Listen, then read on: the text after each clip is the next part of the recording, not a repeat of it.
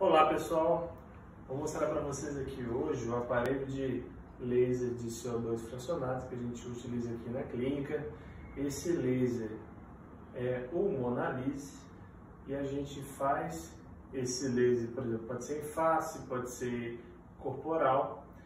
A gente passa o anestésico antes, espera esse anestésico agir, geralmente no intervalo de uma hora, e depois a gente vem e utiliza esse laser, né? Tem a ponteira específica para a pele, ele tem ponteira de outras partes, por exemplo, ponteira vaginal, rejuvenescimento vaginal também. É, essa daqui é específica da pele.